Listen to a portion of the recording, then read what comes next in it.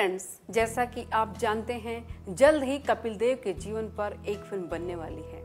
आज हम इसी सर्वश्रेष्ठ क्रिकेटर के जीवन की कहानी लेकर आए हैं। आज हम बताएँगे कितनी उम्र में खेला था कपिल ने अपना पहला इंटरनेशनल मैच और कैसे किया था अपनी पत्नी रोमी को प्रपोज। उन्हें क्यों देना पड़ा था नेशनल कोच के पद से इस्तीफा और यह खिलाड़ी कभी नहीं हुआ रन आउट सबसे पहले बात करते हैं कपिल के जन्म और बचपन की। कपिल देव का जन्म 6 जनवरी उन्नीस सौ उनसठ को चंडीगढ़ में हुआ है। उनके पिता का नाम रामलाल और माता का नाम राजकुमारी लाजवंती है। कपिल देव केवल 17 साल की उम्र में हरियाणा की ओर से रणजी टीम में शामिल हो गए थे।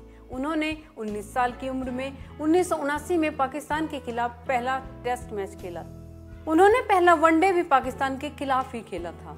बड़े अनोखे अंदाज में किया था रोमी को प्रपोज कपिल देव ने रोमी भाटिया से 1980 में शादी की। उस वक्त दोनों की उम्र 21 साल थी। यह लव मैरिज थी। कपिल देव रोमी के सामने शादी का प्रस्ताव रखने में हिचकिचा रहे थे, इसलिए उन्होंने अलग ही रास्ता चुना।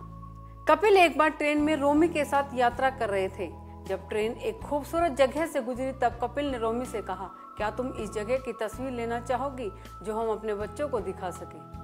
रोमी को पहले तो यह बात समझ में नहीं आई, लेकिन कुछ ही देर में समझ आने के बाद उन्होंने हाँ कर दी। शादी के 16 साल बाद कपिल और रोमी के घर आमिया का जन्म हुआ। सबसे अच्छा साल रहा उन्नीस उन्नीस में सुनील गावस्कर को कप्तानी से हटाकर कपिल देव को कप्तान बनाया गया, जिसके तुरंत बाद इसी साल कपिल देव की कप्तानी में भारत ने अपना पहला वर्ल्ड कप जीता था। कपिल का एक सच आज भी याद किया जाता है। उन्नीस सौ सतासी के वर्ल्ड कप में कपिल का सच आज भी याद किया जाता है। हुआ यूँ था कि वर्ल्ड कप में पहला मैच ऑस्ट्रेलिया और इंडिया के बीच में हुआ।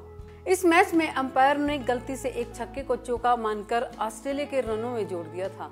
कपिल ने याद दिलाया कि वह चौका नहीं, छक्का था। इस प्रकार भारत को जीत के लिए दो सौ उनहत्तर की जगह दो सौ इकहत्तर का टारगेट मिल गया और भारत दो पर आउट हो गया। कपिल की यह ईमानदारी आज भी याद की जाती है। जब कपिल पर लगा मैच फिक्सिंग का आरोप, कपिल देव ने उन्नीस में अंतर्राष्ट्रीय क्रिकेट को भी अलविदा कहा था। रिटायरमेंट के बाद उन्नीस निन्यानवे में कपिल देव को इंडियन क्रिकेट टीम का कोच बनाया गया। कोच के तौर पर कपिल देव सफल नहीं रहे।